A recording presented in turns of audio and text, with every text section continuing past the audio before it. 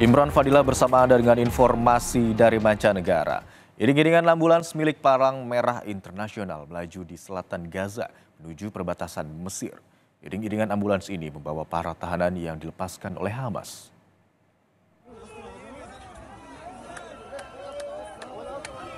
Ambulans-ambulans ini membawa puluhan tahanan Hamas melintasi daerah Khan Yunis untuk menuju perbatasan Mesir untuk akhirnya diserahkan ke Israel.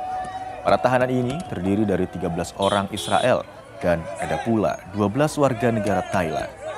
Semua tahanan ini diculik pada serangan pertama Hamas 7 Oktober lalu. Dalam gencatan senjata ini, Israel juga melepaskan 39 tahanan warga Palestina.